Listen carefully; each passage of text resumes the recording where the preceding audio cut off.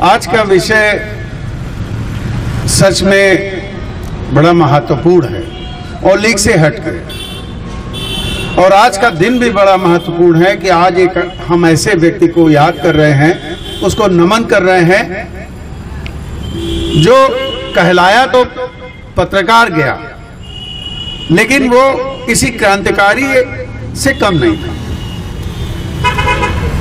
मुझे आज की चर्चा में अधिकांशतः बड़ी निराशा हुई। और निराशा इसलिए हुई कि हमारे पास हमको विचार आने चाहिए। हमारे पास विचार नहीं आए। घटनाएँ हुई, ठीक है, घटनाएँ घटती हैं, लेकिन उससे क्या जिस्ट निकलता है? जिस्ट हमारे लिए महत्वपूर्ण है। वही चर्चा का विषय है, वही विमर्श का विषय है। बहुत सारे सवाल भी उठ गए। मैं कोशिश करूँगा कि दो तीन चीज़ों का जवाब भी ज़रूर दे दूँ। पहली बात, एक विषय है आज़ादी मीडिया, के लिए मीडिया और आज़ादी के बाद पत्रकारिता। तो इसको उलट दीजिए। और उलट इसलिए दीजिए कि आज़ादी के पहले तो पत्रकारिता हुई और आज़ादी के बाद मीडिया में तब्दील हो गई। तब तो चीज़ थोड़ा सा सही होगा। अब पत्रकारिता कहते किसको है? मैं अपनी अलग से विचारधारा रखता हूँ और मैं उसको पत्रकार कहता हूँ जिसके पास संप्रेषण की क्षमता हो। थोड़ा सा चाहे वो लिखा अच्छा इतिहास साहित्यकार हो, चाहे किसी भी तरीके से अपनी बात को संप्रेषित कर सकता हो। दूसरी बात, उसके अंदर थोड़ी सी रिसीविंग एंड हो, जासूसी की क्षमता हो सब्जेक्ट को पकड़ सके। और तीसरी और अंतिम बात है, जो सबसे महत्वपूर्ण है, कि अगर उसके अंदर सामाजिक सरोकार नहीं है तो ये दोनों बिंदु बेकार है। और तीसरा बिंदु इसलिए महत्वपूर्ण है क्योंकि ये तीनों जब तक नहीं बनेंगे, क्योंकि ये पहले दोनों बिंदु सामाजिक सरोकार के लिए, समाज के लिए ही बने। तब तो वो पत्रकार है और पत्रकारिता है, नहीं तो सब बेकार। गणेश शंकर विद्यार्थी और आज़ादी के पहले की पत्रकारिता। सच पूछिए तो इलाहाबाद के लिए स्वाभिमान से बढ़कर अभिमान है। बाल कृष्ण भट्ट से लेकर गणेश शंकर विद्यार्थी, शांति स्वरूप जी स्वराज अखबार के दस संपादक, इन लोगों ने अपनी पत्नियों के गहने बेच दिए। यह मिशन था और मिशन इस बात का था कि हम व्यवस्था का विरोध करते हैं और उस समय जितनी पाबंद थी उस समय तो आप अपनी बात को लिख भी नहीं पाते थे। आप पर्चे के में प्रतीक रूप में चीज़ों को लिखते थे। आज तो बड़ी स्वतंत्रता है। लोग कहते हैं कि हम लिख नहीं पाते। गलत बोलते हैं। एक वर्तमान में जज साहब है, इलाहाबाद हाई कोर्ट के। उन्होंने बताया कि उनके बाबा आज़ादी के पहले सीआईडी में थे और वो भी पत्रकारों से मिले थे। और उनकी तकिया के नीचे एक पर्चा रखा था और छापा पड़ा। इत्तेफाक से कुछ कुछ लोगों को महसूस हो गया कि ये शायद मिले।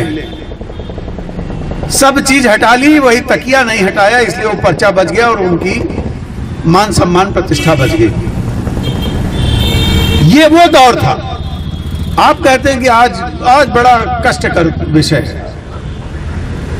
हिंदी पत्रकारिता का अभ्युदय अगर कहीं है तो वो इलाहाबाद। है स्वराज के दस संपादक और सब पश्चिम के रहने वाले, वो सब इलाहाबाद आए। और उन्होंने स्वराज नामक उर्दू का अखबार निकाला। और उसका विज्ञापन क्या होता था, आप जानते हैं? संपादक के लिए आवश्यकता के लिए विज्ञापन क्या निकलता था कि सूखी रोटी और एक गिलास पानी के साथ जेल। ये विज्ञापन निकलता था, ये अहर्ता होती थी। और 120 साल की सजा काटी है इन 10 संपादकों ने। और गांधी जी से पहले शांति स्वरूप नामक व्यक्ति ने काले पानी में सत्याग्रह किया, वो पहला सत्याग्रह था। कि यहाँ की सारी विसंगतियाँ दूर की जाए, नहीं, हम खाना नहीं खाएँगे।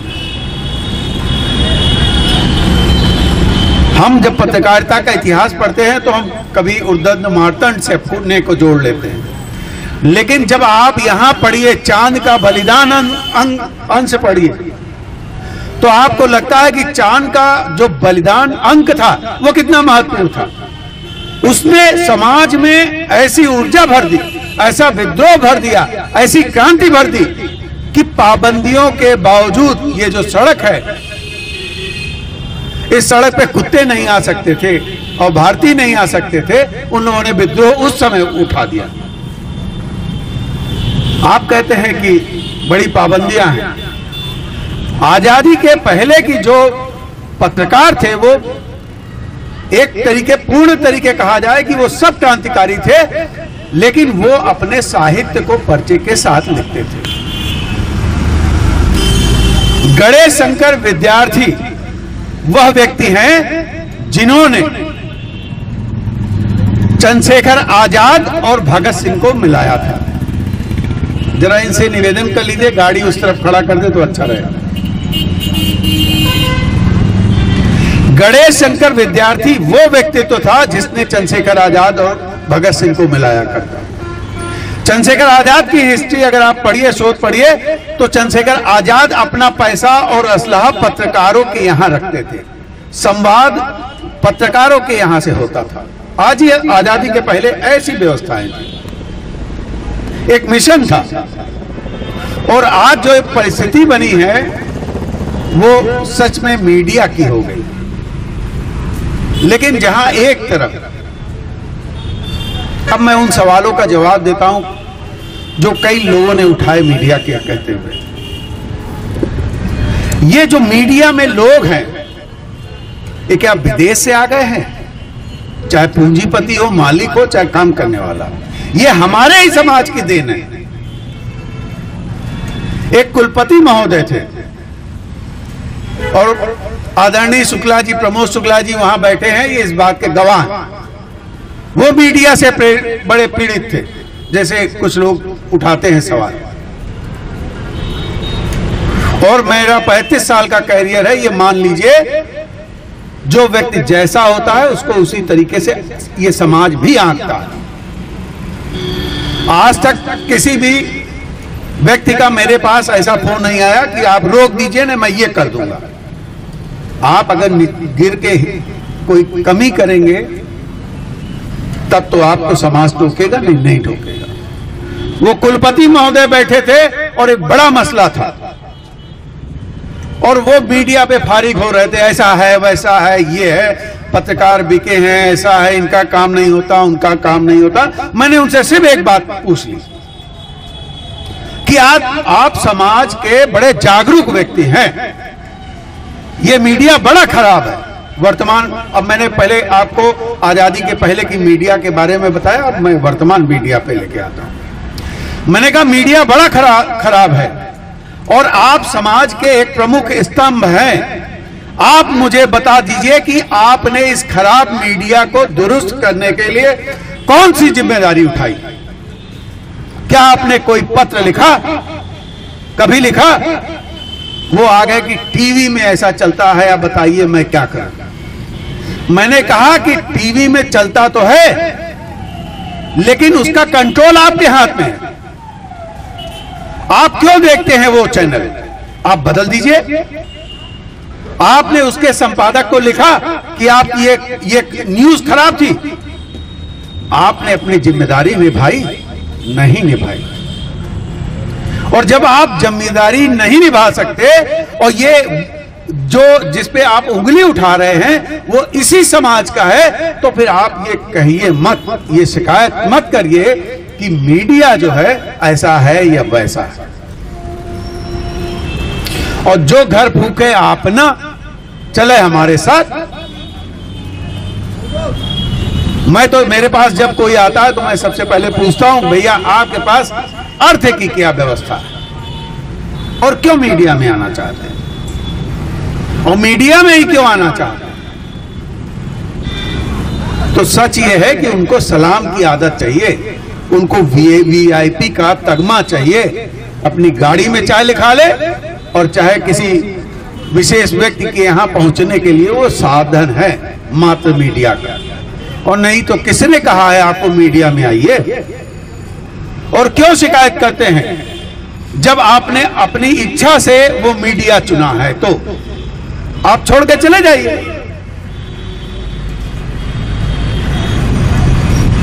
गणेश शंकर विद्यार्थी भी तो थे, कितनी रकम मिल गई। बालकृष्ण भट्ट भी थे, आज चले जाइए, लोकनाथ के खेमा माई मंदिर के पास उनका परिवार रहता है। मेरा ख्याल है कि आज भी रोजी रोटी के लिए संघर्ष करना पड़ रहा है।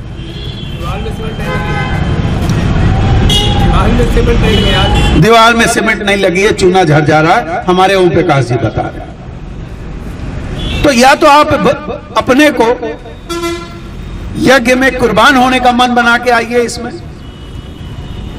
आपके अगर आदर्श गणेश शंकर विद्यार्थी हैं जिनको आज हम याद कर रहे हैं, और ये कितना दुखद है कि जिस व्यक्ति ने क्रांति में इतनी बड़ा इतना बड़ा योगदान दिया, जिस व्यक्ति ने आज़ाद और भगत सिंह को मिलाया जिसने न जाने कितने क्रांतिकारियों को अपने विचार और अपने पत्र के माध्यम से पैदा किया।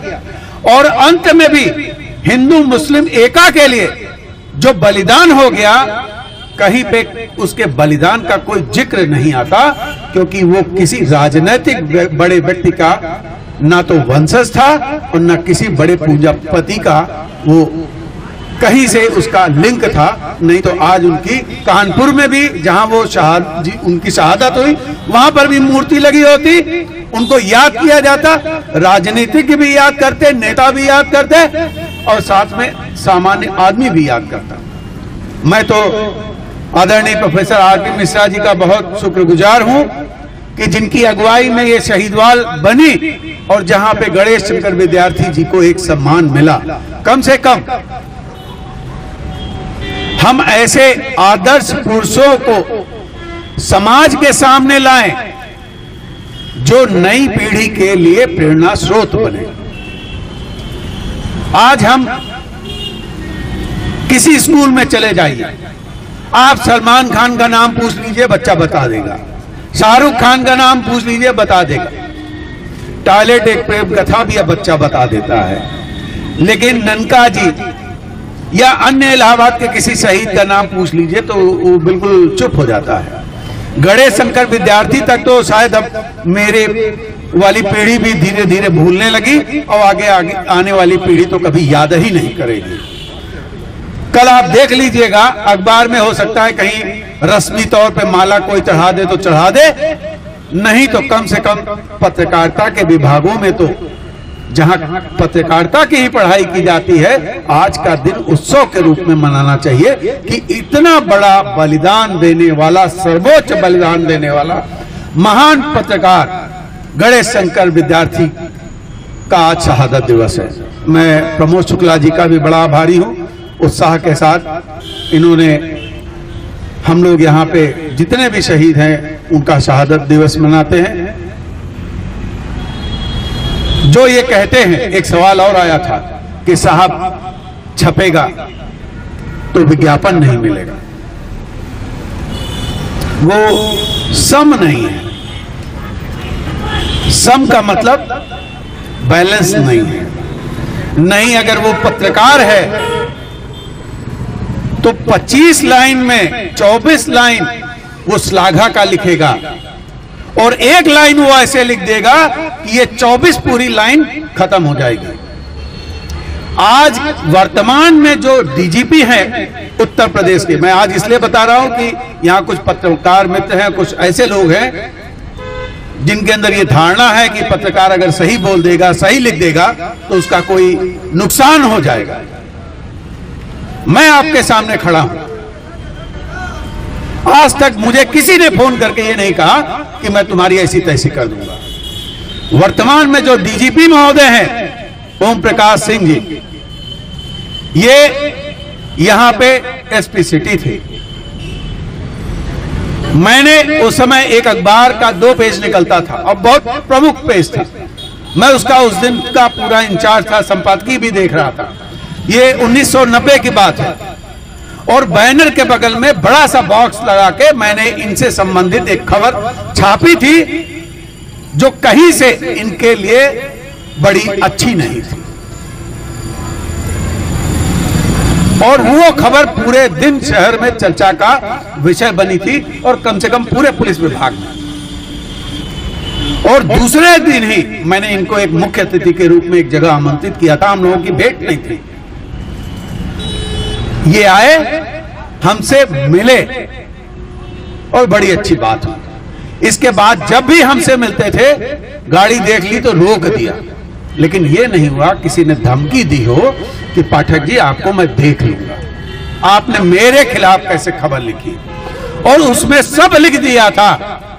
सारी चीज़ें लिख दी थी, लेकिन कहीं इनका नाम नहीं था।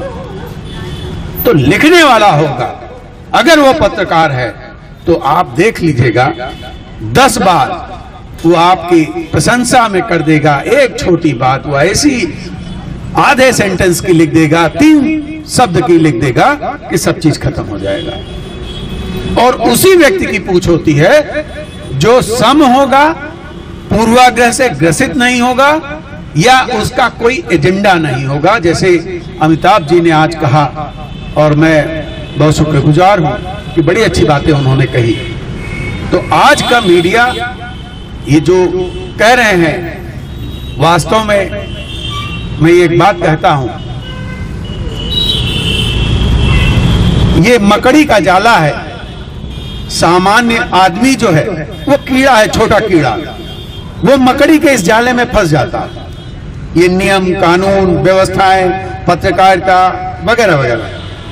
लेकिन जो बड़ा वाला जानवर है, पूंजीपति है, वो मकड़ी के इस जाले को बड़े सरलता से भेदता है और दूसरी तरफ़ निकल जाता है। जैसे उन्होंने कहा कि अब एजेंडा सेट होता है और ट्रायल होता है, मीडिया ट्रायल होता है। सच में अगर आप जागरूक नागरिक हैं और अपने को समझते हैं कि हम को कोई चीज़ पसंद नहीं है तो एक पच्चीस पैसे का, एक रुपए का, मेरा ख्याल है पोस्ट कार्ड की कीमत एक रुपए होगी आजकल। उठाइए और संपादक को लिख तो दीजिए। मैंने बहुत सारे लोगों को पूछा कि क्या टीवी के संपादकों में किसी तरीके की कोई शिकायत आती है? लोग कहते हैं, नहीं आती। और वो जो मैंने बताया कंट्रोल टीआरपी आपके हाथ में है। रिमोट कंट्रोल बंद कर दीजिए टीआरपी कंट्रोल में आ जाएगी। आदमी चैनल में वो चीज़ दिखाना बंद कर देगा। आज हम लोग गणेश शंकर विद्यार्थी जी को याद कर रहे हैं। ईश्वर ने मुझे उनका वंश तो नहीं बनाया है, लेकिन अंश हम अपने तरीके से बन सकते हैं। मैं प्रार्थना करता हूँ, उनका अंश बना रहे। और समाज के लिए हम लोग कुछ कर पाए। इसी शब्दों के साथ अपनी बात को यहीं विश्राम देता हूँ। भारत माता की।